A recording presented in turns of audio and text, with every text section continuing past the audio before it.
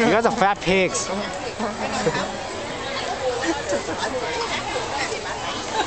ở nhà mình có nhiều cái đẹp mà mua cái đó làm chi Whoa.